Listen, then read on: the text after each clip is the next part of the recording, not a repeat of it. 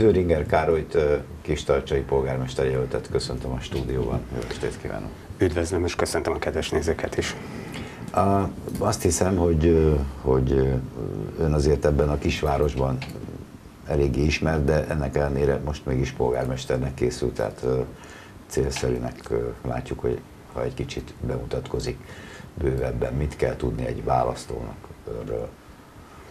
Igen, tehát Döringer Károlynak hívnak, 1975-ben születtem Budapesten, 1998 óta Kistarcsán élek, három gyermek édesapja vagyok, nős. 2012 óta a Jobbik helyi szervezetének vagyok elnöke, és 2014 óta pedig, mint önkormányzati képviselő látom el a feladatomat. Ez utóbbi gondolom ahhoz is segít, hogy, hogy a bemutatkozás következő kérdéskörét elővegyük, ami ugye arról szól, hogy, hogy milyennek látja ön, ön a várost, Kistarcsát, mit tart az erősségének, amitől érdemes ott élni, és mik azok a momentumok, amik, amik miatt önök úgy gondolják, hogy, hogy változtatni kéne. Kistercsai helyi adottságait figyelembe véve egy nagyon-nagyon szép és nagyon kellemes település lenne. Előnye, hátránya sajnos megvan, mint minden fejlődő kisvárosnak. Az előnyeit, aki tudja, aki ott él, az, az látja, a hátrányait pedig inkább abból a szempontból szeretném megközelíteni, hogy mi mit szeretnénk változtatni, vagy mint tudnánk változtatni, hogyha egyszer oda kerülnénk, hogy vezessük a várost. Értem, hát akkor térjünk is át erre a témakörre, ami, ami ugye arról szól, hogy, hogy mi az önök programja, mi az, ami, amiben változtatni kívánnak, de hát mondjuk el azt is, hogy milyen, milyen színekben, milyen csapattal óhajtják ezt megvalósítani.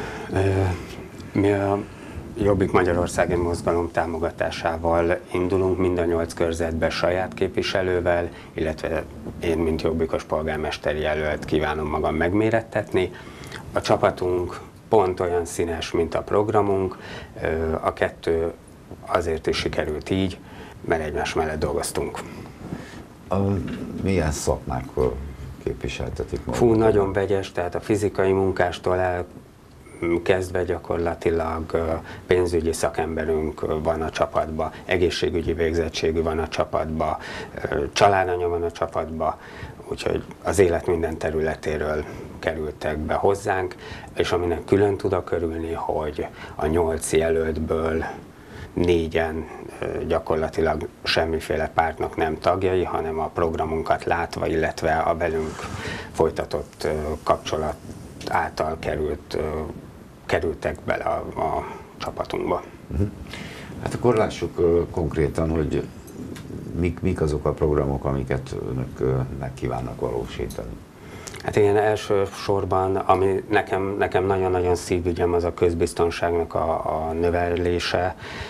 Nagyon szeretnénk megalapítani a városőrséget, ez több budapesti kerületbe, illetve környező településen is működik.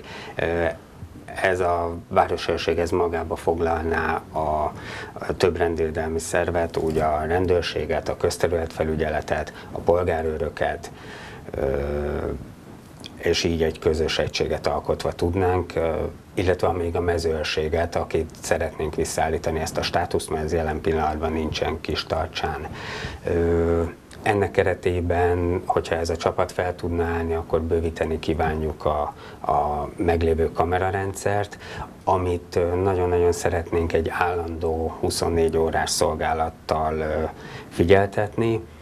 Ennek nagyon-nagyon nagy bűnmegelőzési hatása is lenne, mert akkor azonnal tudnánk reagálni, vagy tudnának reagálni azok, akik nézik ezt a kamerát, és nem csak amikor már megtörténik a baj.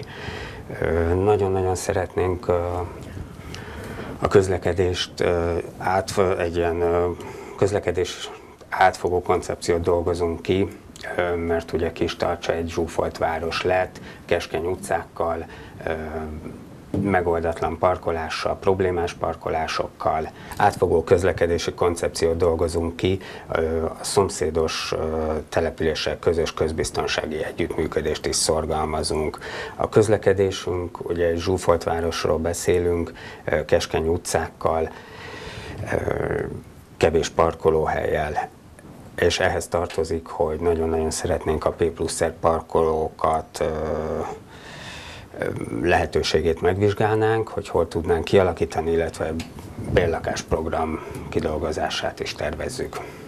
Pont azért, mert egy gyorsan fejlődő település, és a mai helyzetben nem biztos, hogy a családok megengedhetik azt maguknak, hogy önálló lakásban gondolkozzanak, de akár az önkormányzat építhetne, építethetne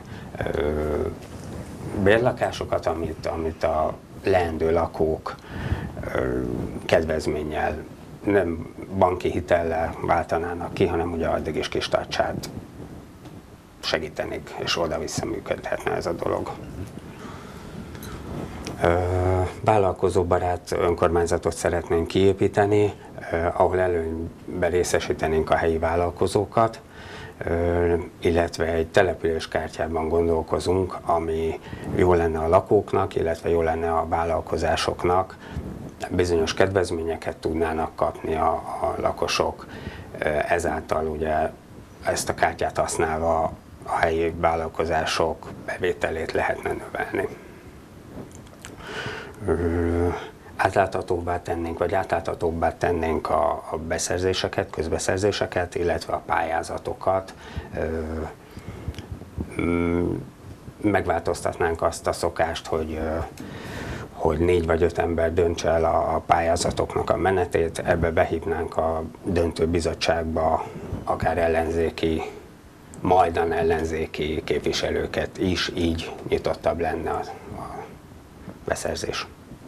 A programpontunk egyik sarkalatos része még a, a egészségügyi oldalon szeretnénk javítani, megerősítenénk a házi orvosi és az ügyeleti ellátást, ingyenes szűrővizsgálatokat hoznánk a településre, illetve hosszú távú elképzelés egy praxisház lenne, ami kiválthatná a, a, zsúf, a zsúfolt orvosi praxisokat. Ingyenessé tennénk az idősek nappali ellátását, ugyanez most van kis tartsán, de jövedelem függő, mint minden településen is, és teljesen szeretnénk, hogyha a helyi idősek egyenlő ellátásban részesülhetnének. Támogatói szolgálatot hozunk létre az idősek megsegítésére, erre is csapatunkban is van szakember, hiszen ugye idősebb korosztály ellátásához türelem kell, és hozzáértés. Sajnos ugye mai világban nem mindenkinek van se ideje, se türelme, ezért ezt az ellátást szeretnénk ezt is bővíteni. Illetve nagyon-nagyon szeretnénk a, a iskolai elsősegélyprogramot beindítani, és utána egy ingyenes vizsgát tudnának tenni a, a fiatalok, gyerekek, ami szintén egy nagyon-nagyon jó kezdeményezés, és ez országszerte is vannak települések, ahol ez működik, hiszen már egy egész fiatal gyermek is akár életet tud menteni, hogyha megvan az a megfelelő képzés, amit akár egymás segítésébe is, mert a baj az mindig ott tud lenni. Pár évvel ezelőtt élharcosai voltunk az annak, hogy ne zárják be az általános iskolát, illetve ne vonják össze őket. Sajnos ugye ez akkor meghiúsult, így most van egy 950 fős zsúfolt általános iskolánk, amit nagyon-nagyon szeretnénk bővíteni.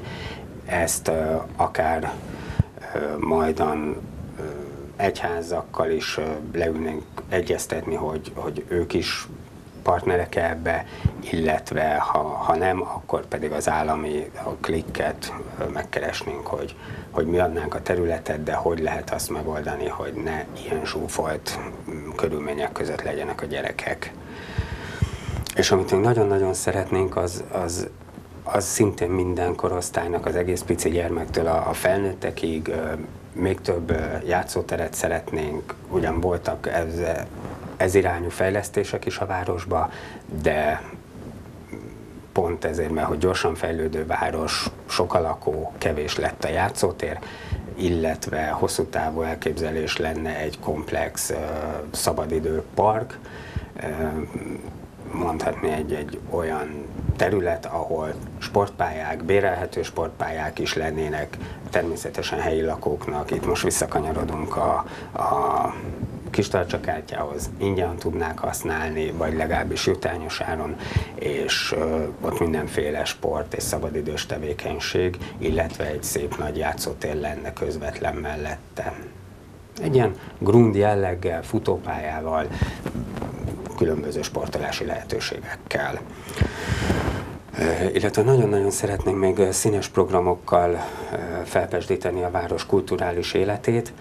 Mm, ez szintén a környező településekből ellesve több színházi előadást, egy állandó színháztermet jó lenne biztosítani, hiszen olyan, olyan szervezetek is vannak, hogy a kis tartsán, akik országos szintű elismerést kapnak, és mégsem tudnak például helyben igazán kultúráltan fellépni.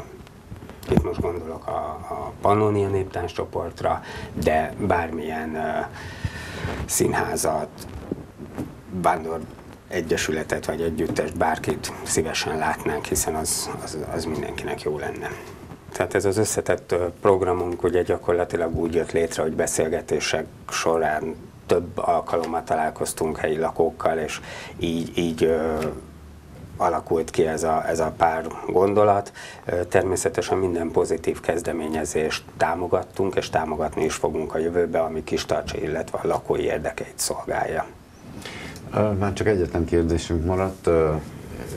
Összefoglalva, mik, mik azok a motivumok, ami miatt önök azt mondják, hogy egy kis tacsai választópolgárnak önökre kell voksolnia? Hát én úgy érzem, hogy, hogy emberbarátivá tudjuk tenni az önkormányzatokat, illetve a személyes kapcsolatok nagyon-nagyon fontosak a mindennapjainkban. Mi mindenhol ott vagyunk, az elmúlt időszakokban is meg lehetett találni, nem csak kampányidőszakba kerülünk elő. Úgyhogy nyitottak vagyunk az emberekre, ezért forduljanak hozzánk, fordulhatnak hozzánk, és amint látják, hogy kész komplett programunk van, ezzel tudunk segíteni. Köszönjük szépen, hogy eljött hozzánk. Köszönöm.